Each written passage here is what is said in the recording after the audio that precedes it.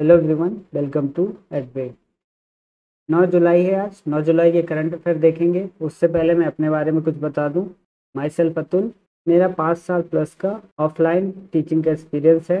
UPSC SSC और state PCS के लिए पढ़ाता हूँ मैं। क्वालिटी एंड गवर्नेंस का टीचर हूँ। इसका कुछ फ़ायदा आपको मिले। अभी ये मैंने नया स्टार्ट किया है यूट्यूब चैनल इस पर मेरे साथ जुड़िए और इस चैनल को और आगे ले जाने में सहयोगी बनिए। और जो भी वीडियोस आ रहे हैं अभी करंट अफेयर मैंने स्टार्ट किया है तो ये आ रहे हैं। आगे और भी टीचर आएँगे इस प्लेटफॉर्म पे, वो भी आपको पढ़ाएँगे।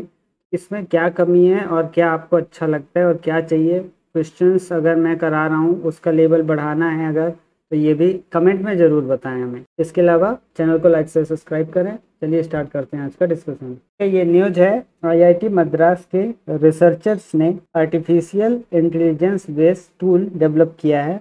जो निजीकृत कैंसर के निदान या डायग्नोसिस कर सकता है। तो ये कैंसर के निदान के लिए, कैंसर के बारे में, कैंसर क्या होता है, ये मैं आगे समझाऊँगा, कैंसर क्या होता है और कैसे होता है। तो इसके, इसको रोकने के लिए एक टूल बनाया है। ये कोई मशीन नहीं है, ये सिर्फ़ सिर्फ़ और सिर्फ़ एक टूल है, एक फ़ाइल है।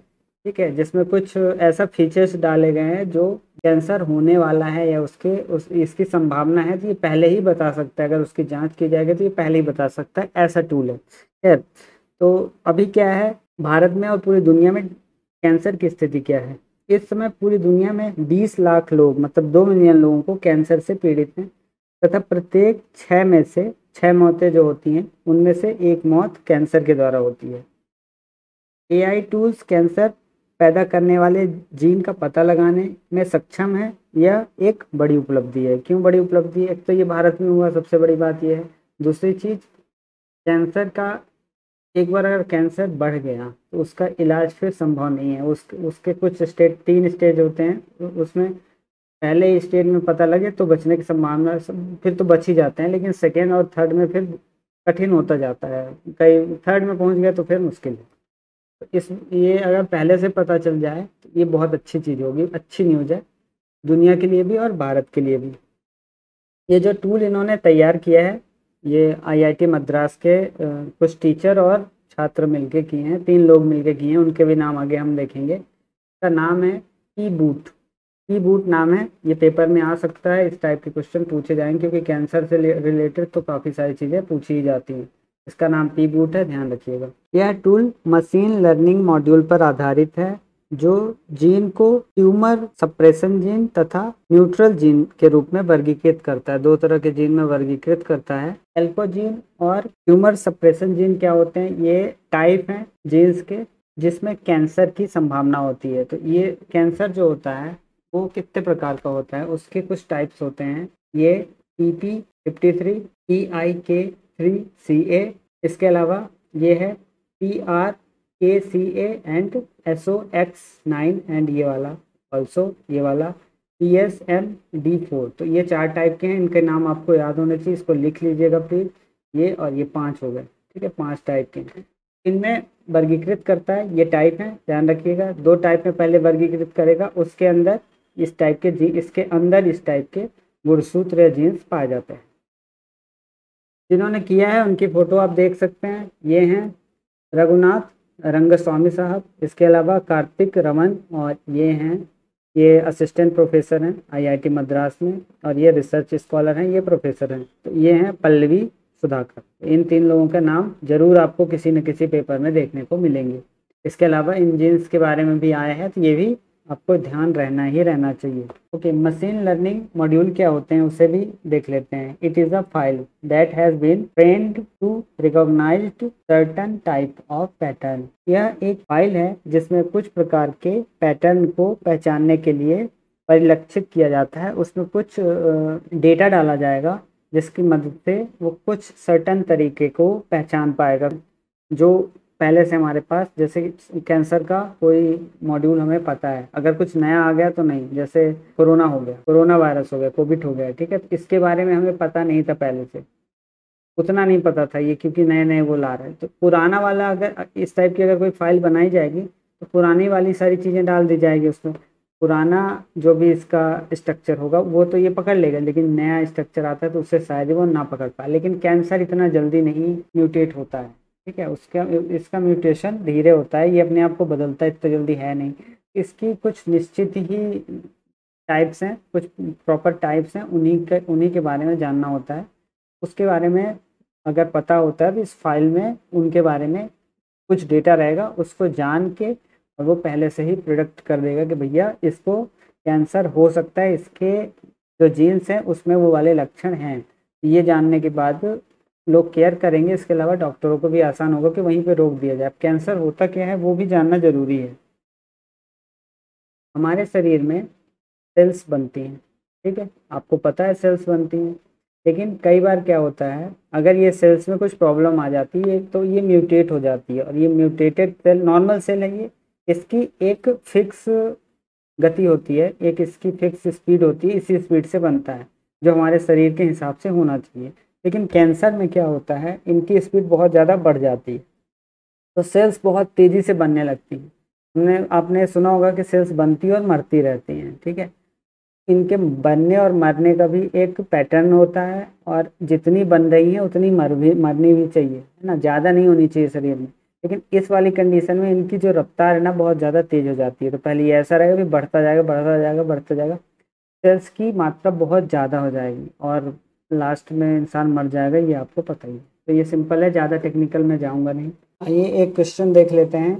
प्रश्न है, निकट अतीत में हिग्स बोजान करके अस्तित्व के सूचकांक के लिए दिए गए प्रयत्न समाचार पत्रों में रहे।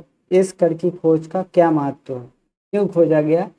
कुल मिला के प्रश्न ये है कि हिग्स बोजान क्यों खोजा गया? इसका क्या महत्व है? तो पहला है हमें यह समझने में मदद करेगा कि मूल कणों में द्रव्यमान क्यों होता है। दूसरा है, यह निकट भविष्य में हमें दो बिंदुओं के बीच के भौतिक अंतराल को पार किए बिना एक बिंदु से दूसरे बिंदु तक पदार्थ स्थानांतरित करने की प्रौद्योगिकी विकास करने में मदद करेगा। तो तीसरा है, यह हमें नाभिकीय विखंडन के लिए बेहतर ईंधन उत्पन्न करने में मदद करेगा। तो कौन सा सही है? बता दूँ इन दोनों का इससे कोई संबंध नहीं है, ऐसा कुछ नहीं होने वाला है। ये वाला है, हमें यह समझने में मदद करेगा कि मूल कणों में द्रव्यमान क्यों होता है। एक सोजान की जो खोज किया गया था, दो दस साल हो गया 2012 में किया गया था। कणों में, मूल कणों में द्रव्यमान क्यों होता है, इसको समझने में ये वाला कण मदद करेगा, ये वाली खोज मदद करेगी तो इससे संबंधित था ये। तो सही आंसर मिल चुका है आपको, सिंपल है, पहला वाला सही है, बाकी सब गलत है। चलिए आगे चलते इसके बारे में कुछ और देखते हैं। ये आपको एक मशीन दिख रही होगी, इसका नाम है लार्ज हाइड्रोजन कोलाइडर इसी मशीन में परीक्षण किया गया था एक्सपोजान का। इसको एक बार फिर से स्टार्ट किया जा रहा है 2022 में 2012 में, इसके बाद इसके बाद 2015 से 2018 तक और अब तीसरी बार 2000 2022 में फिर से इसे स्टार्ट किया जा रहा है। और ये कौन सी संस्था के अंतर्गत आता है? ये आता है European organisation for nuclear research E R N के तहत आता है। उनके अंडर में आता है। यह एक जटिल मशीन है, जिसे उन कणों का अध्ययन करने के लिए बनाया गया है, जो सभी चीज़ों से सबसे छोटे ज्ञात मूलभूत अंग हैं। अपनी परिचलन अवस्था में यह सुपर कंडक्टिंग इलेक्ट्रोमैग्नेट्स की एक रिंग के अंदर विपरीत दिशा में प्रकाश की गति से लगभग दो प्रोटॉनों को फायर करता है। सुपर कंडक्टिंग इलेक्ट्रोमैग्नेट्स द्वारा बनाया गया चुंबकीय क्षेत्र प्रोटॉन को एक तंग बीम के अंदर रखता है और उन्हें रास्ते में मार्गदर्शित करता है कि बीम या पाइप के माध्यम से यात्रा करे और अंत में वह प्रोटॉन से टकरा जाए। क्योंकि ये जब दो प्रोटॉन यहाँ पे टकराएँगे आपस में तो क्या होगा? बहुत ज़्यादा हीट होगी, बहुत ज़्यादा हीट होने की वजह से इसमें प्रॉब्लम आ सकती है। इसके लिए इसे माइनस दो सौ इकहत्तर दशमलव तीन डिग्री पे रखा जाता है। एक बहुत कूल वातावरण में इसे रखा जाता है। अगर हम इसके महत्व को देखें, ये इसका सबसे इम्पोर्टेंट जो चीज़ इससे निकल के आती है कि ब्रह्मांड कैसे बना था। शुरुआत में ब्रह्मांड कैसा रहा होगा? एक छोटा सा कण क्योंकि छोटे से कण से ही स्टार्ट हुआ, ऐसा माना जाता है। अगर छोटा सा कण टूट करके किस प्रकार से बिहेव करता है, उसको जान लिया जाए तो तो आराम से ये समझा जा सकता है कि ब्रह्मांड कैसे बना होगा, क्योंकि कई उल्का गिरते हैं, या कई जगह वैज्ञानिक, जैसे अमेरिकन रोवर हो या कहीं का रोवर हो, वो जब, या अपना मंगल यान ही हो, जो कि हालाँकि उसका रोवर फेल हो गया बट जब ये जाते हैं तो यहाँ, वहाँ की मिट्टी में और यहाँ की मिट्टी में कुछ सिमिलरिटी मिलती है, बहुत सारी चीज़ें ऐसी हैं, बहुत सारी क्या, सारी चीज़ें वही हैं जो जो वहाँ है, वही यहाँ है। तो सेम चीज़ें ही मिलती हैं लगभग। इस वजह से ये तो क्लियर है कि है सब जगह एक ही जैसा, है ना? कुछ गैस होंगी जो कहीं ज़्यादा होंगी, कहीं कम होंगी। अगर कहीं मिथेन है तो यहाँ भी मिथेन है। जैसे दूसरे ग्रहों पे जाएँगे तो वहाँ पे कुछ दूसरी गैस मिलेगी, लेकिन वो गैस यहाँ पे भी है। इस तरह से ये चीज़ क्लियर है कि सब जगह एक ही जैसा पैटर्न है, कोई ऐसा अंतर नहीं है। तो अगर ये चीज़ जान लिया जाए कि कर्ण कैसे टूटता है और किस प्रकार की उससे एनर्जी उत्पन्न हो सकती है? अगर वो ज़ोर से टकराएगा, उसको, उसके टकराने की स्पीड हालाँकि बहुत ज़्यादा होगी।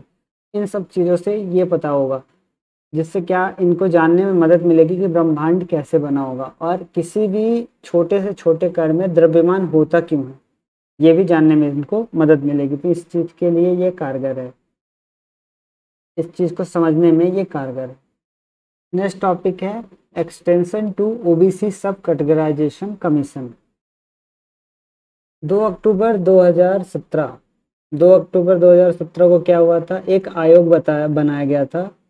रोहिणी आयोग के नाम से, जिसे हम जानते हैं। तो ये आर्टिकल 340 के अंतर्गत बनाया गया था। और इसका काम ये था कि ये ओबीसी के उपवर्ग को पहचानेगा कौन कौन से, और ओबीसी में और कौन कौन शामिल हो सकता है। अदर बैकवर्ड क्लासेस में और कौन कौन शामिल हो सकता है और किसे निकाला जाना चाहिए, ये सब चीज़ें इसका काम था देखना। तो ये न्यायमूर्ति रोहिणी आयोग के नाम से जाना जाता है। इसके अलावा ओबीसी के लिए कोई अगर आयोग बैठाना है, ओबीसी विभाग के लिए कोई आयोग का गठन करना है तो वो आर्टिकल 340 के अंतर्गत किया जाता है। ये चीज़ ध्यान रखना ज़रूरी है। शुरुआत में क्या कहा गया था? इनको 2 अक्टूबर 2017 से 2 अक्टूबर 2018 तक का टाइम दिया गया था। यहाँ पे रिपोर्ट सौंपनी थी, लेकिन वो हो नहीं पाया। अभी क्या क्या किया गया है? 2023 तक इन्हें अपनी रिपोर्ट सौंपनी है। इनका काम होगा कि extremely backward classes more backward classes and backward classes को पहचाने। क्योंकि क्या है? कई बार क्या होता है ना लाभ किसको मिलता है? जो आगे, जो खुद पहले से जॉब में है, उनके बच्चे या इस तरह से लाभ पा रहे हैं। तो सबसे पहले तो क्रीमी लेयर का एक कॉन्सेप्ट लाया गया था 2008 में आया था ये सुप्रीम कोर्ट के कहने पे। सुप्रीम सुप्रीम कोर्ट ने कहा था कि क्रीमी लेयर का क्राइटेरिया होना चाहिए। जो लोग अब बैकवर्ड होने लायक नहीं है, जिनको अच्छी सुविधाएँ मिल रही हैं, जो जॉब में हैं, उनको क्यों ऐसा, क्यों एक्स्ट्रा बोझ, क्यों भारत सरकार ढोए उनका? है ना? ये था। अभी क्या कहा गया है कि एक आयोग बनाया गया है, जिसे एक रिपोर्ट बनाने को कहा गया है, जिसमें एक्सट्रीमली जो बैकवर्ड है, उनको अलग किया जाए, उनको थोड़ी सी अलग सुविधाएँ मिलेंगी, फिर वो आगे देखा जाएगा क्या होगा। मोर बैकवर्ड जो थोड़ा ज़्यादा बैकवर्ड हैं और जो नॉर्मल बैकवर्ड हैं, उनको अलग किया जाए, ठीक है? इस काउंसिल में तीन बनाया जाए, पहले एक ही होता था बैकवर्ड क्लासेस सबके लिए सेम अभी इसको तीन पार्ट में अलग करने की बात कही गई है। इनके बारे में और कुछ बताएँ तो उन्नीस सौ तिरपन में पहली बार एक आयोग बनाया गया एस सी के लिए, ठीक है, और साथ में ओबीसी के लिए। S C S T and OBC के लिए। इसके अलावा 1980 1980 में 1980 में एक मंडल आयोग आया था, मंडल आयोग। मंडल आयोग का काम क्या था? मंडल आयोग ने सबसे पहले तो इनको पहचानना था कि ओबीसी होंगे कौन। पिछड़ा वर्ग में कोई ऐसा नहीं था कि पहले से डिसाइड था कि हाँ ये ओबीसी है, नहीं। पहले डिसाइड होना था कि ओबीसी होगा कौन, ओबीसी में आने लायक हैं कौन। उसके बाद जब इन्होंने, मंडल आयोग ने एक रिपोर्ट अपनी प्रस्तुत की तो उन्होंने कहा कि जो हमारे हिसाब से ओबीसी होने लायक लोग हैं, उनका परसेंट है पूरे देश में फिफ्टी टू बावन परसेंट लोग ऐसे हैं पूरे भारत में, जो ओबीसी कहलाने लायक हैं, जो बैकवर्ड क्लासेस में आने लायक हैं। ये कहा था मंडल कमीशन ने। इसके बाद 1992 1991 टू में सरकार एक फैसला लेती है। पहले क्या था? एससी एंड एसटी के लिए आरक्षण की, ये बीपी सिंह सरकार की बात कर रहा हूँ। बीपी सिंह सरकार। एस सी के लिए 22.5 परसेंट का आरक्षण। निर्धारित था। अभी इसको बढ़ा के कितना कर दिया गया? 1992 में फोर्टी नाइन पॉइंट कुछ फाइव परसेंट, ठीक है? इतना कर दिया गया। अब इतना क्यों किया गया? क्योंकि सुप्रीम कोर्ट बीच में आ रहा था। और सुप्रीम कोर्ट ने कहा कि जो देश की एफिशिएंसी है, वो कम नहीं होनी चाहिए। क्योंकि अगर इन दोनों को जोड़ दिया जाए, बाईस दशमलव पाँच और उनचास दशमलव पाँच तो कितना हो जाएगा? ये हो जाएगा सेवेंटी टू परसेंट। तो सेवेंटी टू परसेंट क्या आरक्षण है? अभी अभी तो नहीं है ना? अभी तक तो नहीं है ना? सुप्रीम कोर्ट ने कहा कि फिफ्टी परसेंट के अंदर आप आरक्षण रख लो। ज़रूरत है फिफ्टी परसेंट के अंदर आरक्षण रख लो, लेकिन इससे ज़्यादा हम देश हित के उसमें नहीं कर सकते। इसको देश हित को हम दांव पे नहीं लगा सकते, क्योंकि कुछ भी हो, आरक्षण से जो फ़ायदा होता है, उससे देश के एफिशिएंसी में कमी नहीं आनी चाहिए। दक्षता में कमी नहीं आनी चाहिए, किसी काम की दक्षता में कमी नहीं आनी चाहिए, क्योंकि जो ब्रिलियंट दिमाग का इंसान है, वो तो पहुँच ही जाएगा, कहीं ना कहीं जाएगा ही, ठीक है? उनको रोकना नहीं है तो फिफ्टी परसेंट का क्राइटेरिया होना चाहिए कि फिफ्टी परसेंट तो नॉर्मल आएँगे, उसके अलावा फिफ्टी परसेंट आरक्षण से आएँगे। ये उस समय सुप्रीम कोर्ट ने कहा था, आज भी लगभग वही चल रहा है। हालाँकि कई सरकारों ने इसे बदला भी है सिक्सटी टू भी है, कई जगह सिक्सटी टू परसेंट है। इससे भी ज़्यादा है सिक्सटी फाइव परसेंट भी है आंध्रा वांध्रा में सिक्सटी फाइव परसेंट भी है।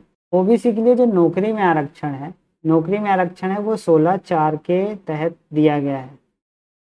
और जो ये नौकरी वगैरह में आरक्षण है, सिंपल, सरल शब्दों में ये जान लीजिए। और पंद्रह चार में क्या कहा गया पंद्रह चार में है जो इनके लिए शिक्षा में आरक्षण है। जो सत्ताईस परसेंट का आरक्षण मिलेगा, सत्ताईस परसेंट नौकरी में, सत्ताईस परसेंट शिक्षा में। कोई बच्चे जाते हैं तो सत्ताईस परसेंट का ओबीसी आरक्षण होता है। तो ये चीज़ यहाँ पे, यहाँ मिलेगी। क्योंकि उनचास परसेंट थे ना ये, उनचास पर उनचास परसेंट देने की बात की गई थी, या फिफ्टी टू परसेंट देने की बात की गई थी वैसे तो ओबीसी के लिए। लेकिन सत्ताईस परसेंट का लास्ट में दिया गया, सत्ताईस और ये मिला लेंगे बाईस तो उनचास होता, फोर्टी नाइन परसेंट। ठीक है? टोटल फिफ्टी परसेंट लगभग फिफ्टी परसेंट आरक्षण फिर इसके बाद दिया गया। तो आज का सेशन यहीं ख़त्म करेंगे। थैंक यू फॉर वॉचिंग एडवे स्टडी